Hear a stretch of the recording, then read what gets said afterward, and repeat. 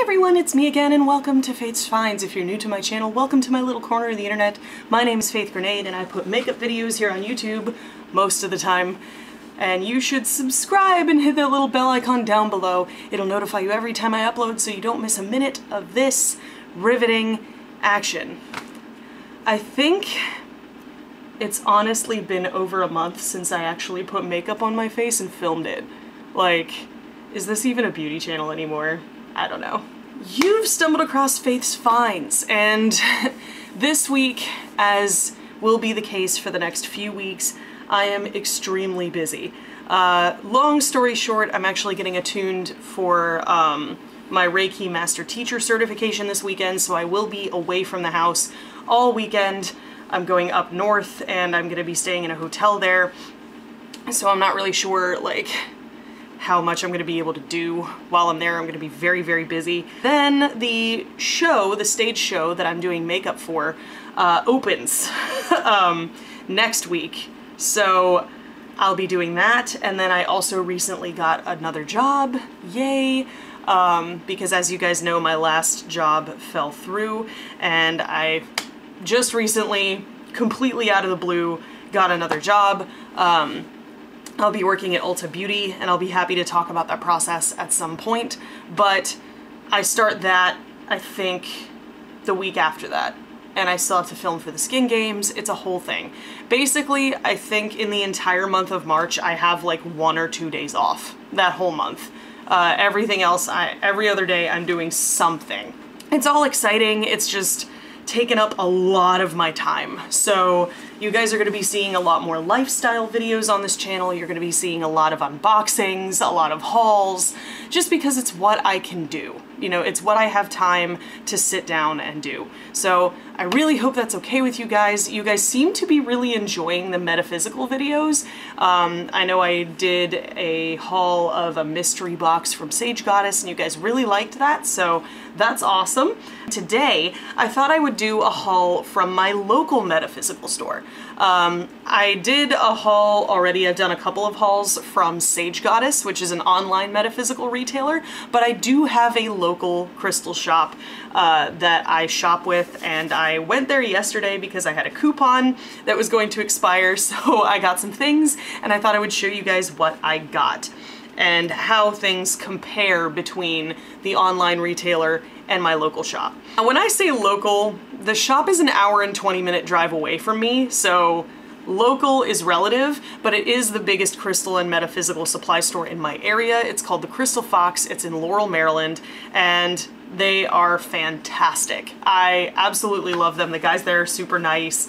Uh, everyone who works there is awesome. And they always have some kind of neat little nifty thing hiding in there somewhere. And I think as fun as it is to shop on Sage Goddess and as many different varieties of things that Sage Goddess has, there's something about walking into your local crystal shop that is just so special. The smells, the sounds, the the sights, the energy of everything around you, you know, being able to touch and feel and hold and get a feel for things is very special. So I highly encourage you guys, if you do have a local crystal store near you, stop by and visit. I mean, these are usually independently owned stores and they rely on the patronage of folks like us. So yeah, that's your, that's your sort of PSA for the day. Let's get into the haul. As I just said, I recently got a new job. So I want to make a grid for success in my job, you know, prosperity, focus,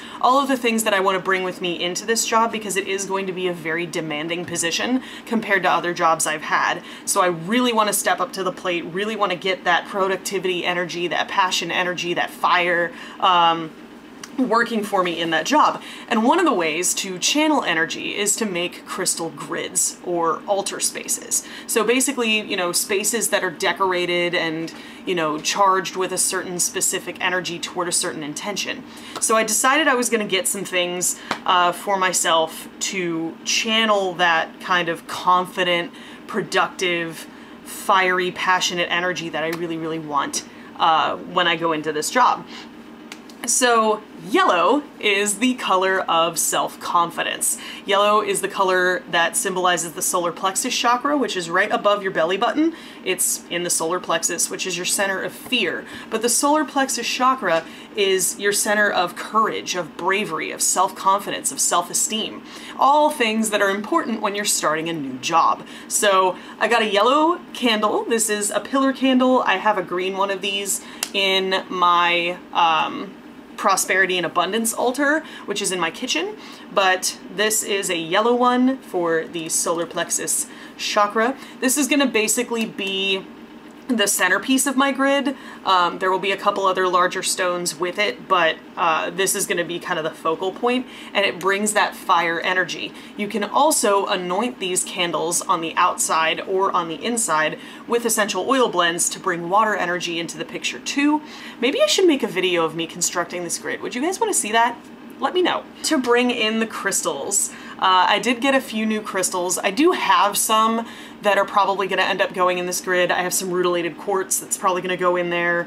I have a bunch of other stuff that I want to put in there, but I did grab a few things um, just to add more to the grid. So first I grabbed a couple of pieces of orange calcite.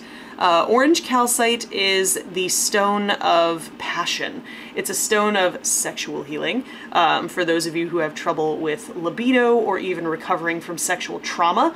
Um, this is a stone of the sacral chakra, which is your center of passion and creativity. And I am going to need a lot of creativity in this job because I'm going to have to find unique ways to approach people and let them know I'm there and hopefully get them in for treatments in the pod that I'll be working in. So this is going to be a wonderful little stone for that as I drop it. Got a couple of golden healer quartz points. Uh, these are quartz that has a certain type of mineral inclusion in it that gives it this slightly golden hue. Some are more gold than others. I do have a sphere of golden healer that is very, very gold, and this one is quite a bit more golden than its counterpart here.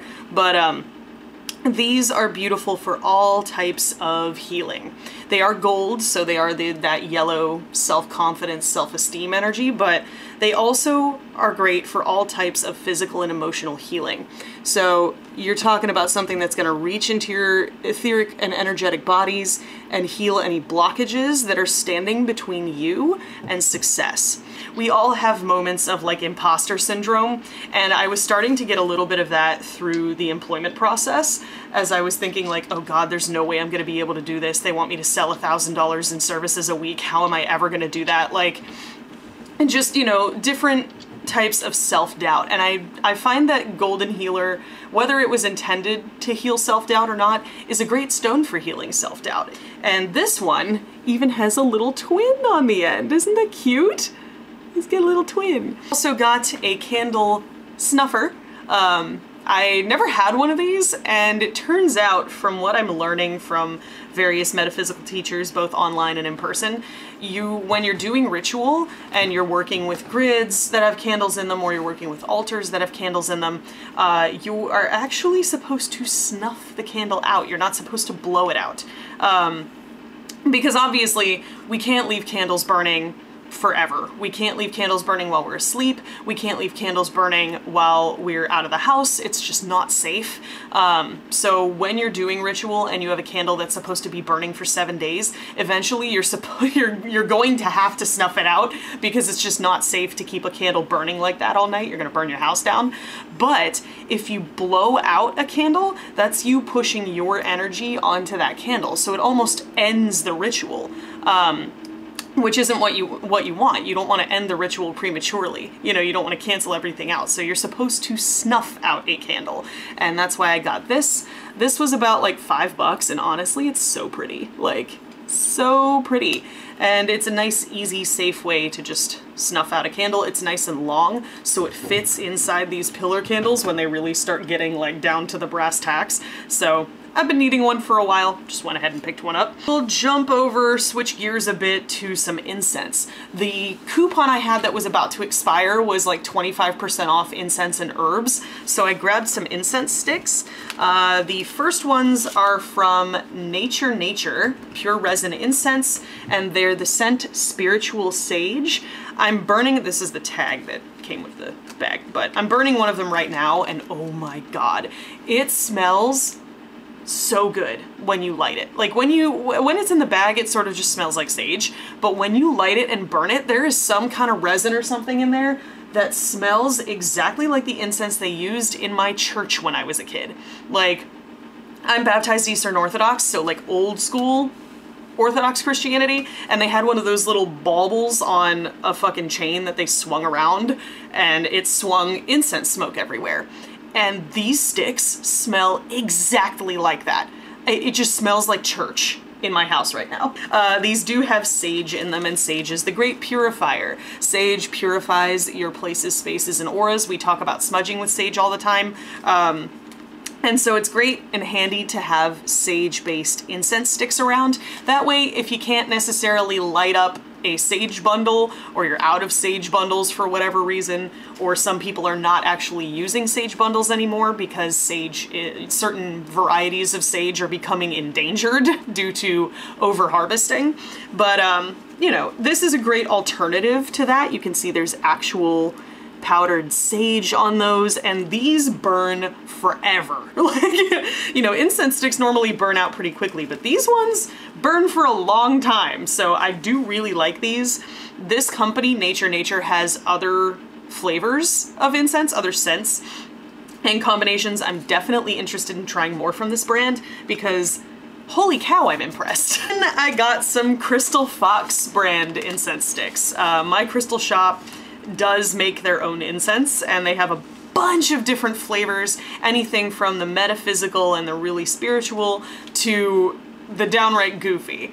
um, so I got two basics because uh, I've never tried their incense before. I got two that I know are pretty much going to be good.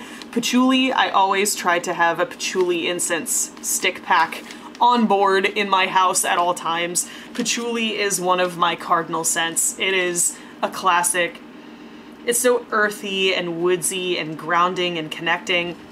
And it connects me to my mom because my mom used to wear patchouli oil all the time. So every time I smell it, I think of her. So then I also got camphor. Camphor is an oil resin type substance uh, that smells like a bonfire. So uh, if you if you've ever been around a bonfire, that like smoky sort of fiery smell, that's what camphor smells like. I love camphor. Some people aren't into it, but I love it. I love how grounding and stabilizing it is. It sort of gives you that fiery energy of like smolder, like you're ready to take on the world. So I definitely grabbed one of those. And then I also grabbed a goofy flavor. This is called Which Sticks? Question mark?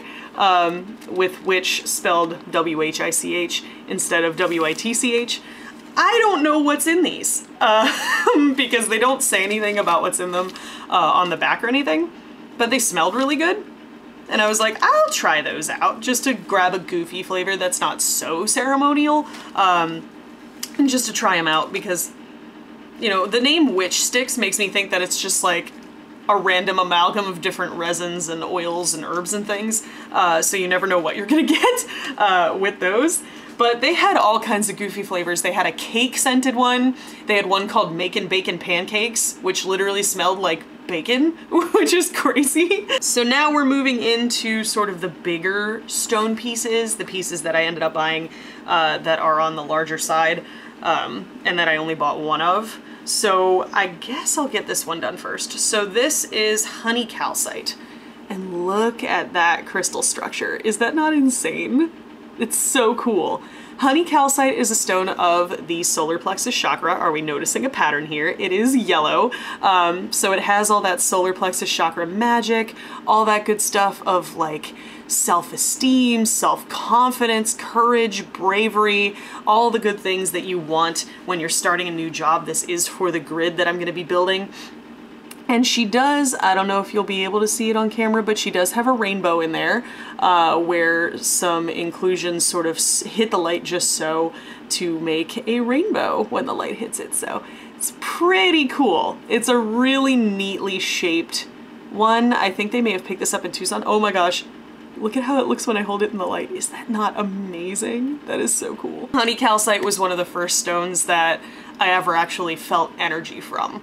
So uh, I used to think that, you know, stones and energy work were kind of hoo-ha, but I could respect why people did it. And then I held a piece of honey calcite for the first time and I actually felt something. Like that was, this was the first type of stone that I ever genuinely felt something from. And this one, I think they picked up in Tucson, I want to say, because uh, a couple of the people from my crystal shop went to the Tucson Gem Show, which is the biggest gem show in the United States. Uh, massive gem show on my bucket list for sure.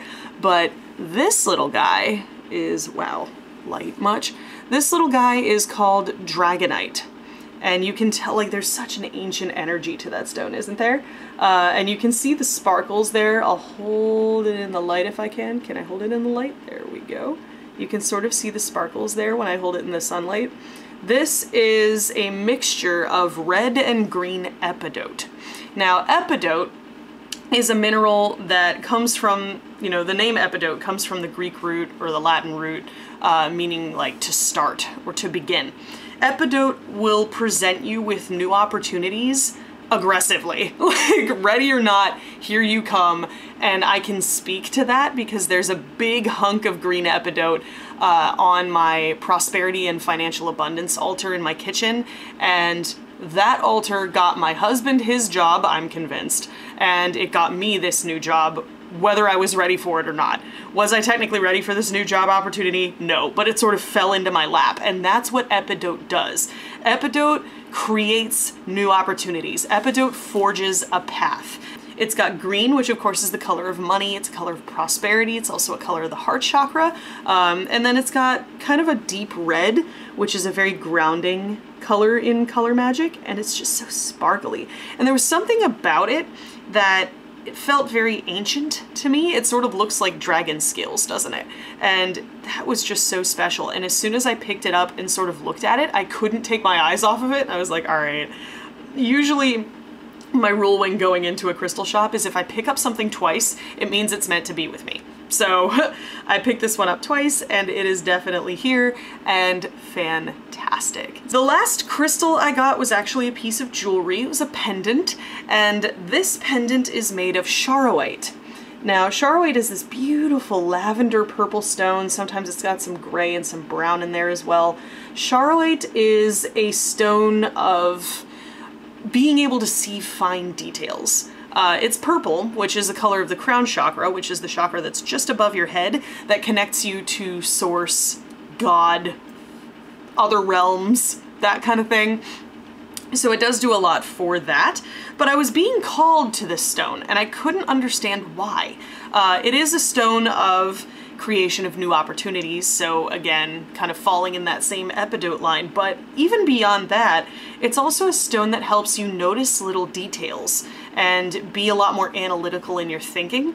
And that's definitely something that I'm going to have to uh, that's the kind of energy that I'm going to have to carry with me uh, into this new job because this new job involves facial treatments that are significantly shorter uh, than the ones that I normally did in my own practice. So there are some times where I will literally only have 10 minutes to analyze somebody's skin and determine what they need. And in order to successfully do that, I'm going to need to be able to focus and pay attention to the little subtle details very, very quickly. And this stone, from what I've read, helps you to do that. So that would explain why I'm feeling called to it lately. It's such a pretty little oval shape. It'll stack very well with some of the rest of the necklaces I wear all the time and it is open in the back, which is what you want when it comes to crystal jewelry. You want to look for something that's open in the back. Now, why is that? In order to get the energy from a crystal to the maximum effect, it has to touch your skin. And when you have a piece of jewelry that's closed in the back or has like a metal cover in the back or something, that stone isn't directly touching your skin. When it's open in the back like this, the stone is making contact with your skin all the time, so it's constantly giving you all of that good, good energy. And then finally, I was browsing around the tarot cards. A lot of you guys who know me personally know I am a cartomancer. I do tarot readings from time to time. I also do them professionally um, at a pay what you can rate. So basically, people pay whatever they are able to pay, and I do tarot readings for them when my husband was unemployed and when I was underemployed, tarot readings pretty much sustained me. So um, I will always have a special place in my life for tarot cards, and these. Y'all, I was looking at one of the stacks of tarot decks, and a lot of the time I just like sitting in front of the stacks. Like, a lot of people ask me, how do I find a tarot deck that's right for me? There are some people that will tell you that your tarot decks have to be gifts. I say, why can't you buy a gift for yourself? I was sitting in front of one of the stacks and I felt like I usually just sit and listen and typically I'll feel something kind of calling out to me if there's anything there. So I just sat there and that's the best part about being in a crystal shop is you can just sit on the floor and listen and no one will judge you. Like chances are there are other people in the same shop doing the same thing. So I just sort of sat there and waited and I felt something coming from the bottom corner of the of the kind of shelving that I was looking at. The very, very bottom corner, tucked into the side, kind of like out of the way, very tiny sort of deck. It's not in one of those big ornate boxes like uh, other decks I have, but I picked it up because it kind of called out to me and I was like, all right, what's your story? And I picked it up and it is the Golden Tarot of the Tsar. Now let me explain to you guys why this is significant and why I picked these up. This is Eastern Orthodox imagery. As I told you guys earlier in the video, I'm baptized Eastern Orthodox. Like this is a tarot deck that uses imagery from the same religion that I was baptized in. How crazy is that? What are the odds that I would stumble across a deck like this? I mean, there are tarot decks for everything, but I've never seen not just an Eastern Orthodox tarot deck, but a Russian Orthodox tarot deck. Now, say what you want about Russia. I have my opinions about Russia, goodness knows, but Eastern Orthodoxy was the religion I was baptized in. It was the religion that my grandparents sort of you know, heavily influenced on us, and we still carry a lot of traditions from Eastern Orthodoxy uh, to this day. Still a lot about Eastern Orthodoxy that sort of connects me to my roots. Um, so even though I do crystal grids and I do all kinds of other pagan stuff and I work with all kinds of different, you know, deities and ascended masters, I still have a place in my spiritual path for Eastern Orthodoxy because it's ancestral magic. And you know, Eastern Orthodoxy, they burn incense, all right? They use crystals, they use oils, they use all kinds of stuff. So it's very, very similar uh, to the pagan roots of Russia and Ukraine in the past. This deck, y'all, is fucking gorgeous. Okay, let me just show you a couple of cards here because these cards are um, basically inspired by iconography, which is art that is used in Eastern Orthodox churches. Uh, it's a very specific kind of artwork, um, and there's a lot of kind of detail and very specific instructions to how to do icons, um, which are these, you know, religious images. And there's like you have to be trained especially specifically in iconography in order to paint these and you can see it's metallic all of the gold foiling up in here is all metallic. So when you hold it up to the light, you can see it sort of shining and that detail in the back is just insane. Like there are icons, there's artwork in this deck that was in the church I was baptized in, that was in the church that I was married in. Like, it's on another level. Like, the artwork on these is insane. Like, do you, I can't, like, it's metallic. What? These are some of the most beautiful cards I've ever seen. The artwork really resonates with me because it's something I grew up with, uh, even though the some of the messages of Christianity don't really resonate with me that much. Um, you know, I have my opinions on the religion as a whole and how much harm that it's done to humanity, but I can deeply respect and connect with the artwork in these cards because it connects me back to my ancestors, to my grandparents, to my great grandparents, to my great great grandparents. And there's something about that energy that is just so special. And it reminds me of when I was, you know, very, very young. And while my mother wasn't religious and we didn't go to church on a regular basis, we would go to church when we came up to visit my grandparents for the holidays. So I would be in this church and I would be bored to tears because the Orthodox services are so long and my little seven, eight, nine year old self was just so done after about half an hour and I still had, you know, an hour to go. So I would look at the artwork. I would look at the icons that are all around you in an Orthodox church. And there's something so special about that memory for me because it was the first time I really remember sort of connecting with art.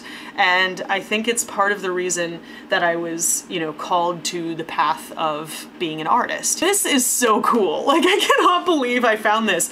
And I looked it up on Amazon and apparently this deck is pretty rare. So I'm so happy that I was able to find it and I'm looking forward to doing some readings with it. It's got its own spread that you can do, um, but I'm looking forward to doing some readings with it because the descriptions in the little booklet that comes with this are surprisingly pretty open-ended. I really thought that it was going to be a little too connected to Christian imagery, but you can see you have a tiny little booklet here, and it's translated into five different languages. So, you know, it's just got little blurbs like little tiny blurbs about the cards. So it leaves a lot open to intuitive interpretation. And I sort of like that because it doesn't tie you into one specific story or another. It just gives you a framework and lets the reader do you know, the connecting of that framework to the querent's situation, which I definitely like in a tarot deck. So that's about it, you guys. That is everything that I picked up from the Crystal Fox. Now, I noticed while I was there, I didn't get one of these, but I noticed while I was there that there is there are mystery bags that the Crystal Fox sells. Um, and they're somewhere between like $7.50 to $10 and they're just mystery bags. You never know what's gonna be in them. So I'm tempted to get one of those mystery bags and unbox it here on the channel for you guys. Let me know if that's something you would be interested in because I know you guys were digging the Sage Goddess mystery box unboxing, so I'm always down to do more of that. Unboxings have actually become really fun for me, so I think I will be doing more of those they're very fun to do, and more importantly, they're easy to film and edit, so I'm not, you know, having to spend a crap ton of time that I don't have uh, having to splice things together and edit things and all that good stuff. But in the meantime, I hope you found this video helpful, informative, or entertaining. If you did, there's a button for that. Spank that like button in the butt. You know it deserves it. And if you want to see more from me, you've got a couple options now. You can click the videos on either side of my head, assuming I put them there, to binge if you're bored or bummed out. Or hey, you can hit that button that looks like my face and subscribe and become a member of the faithful. Today, I put out new videos every Thank you guys so, so much for watching and joining me today, and I'll see you in the next video. Toodles!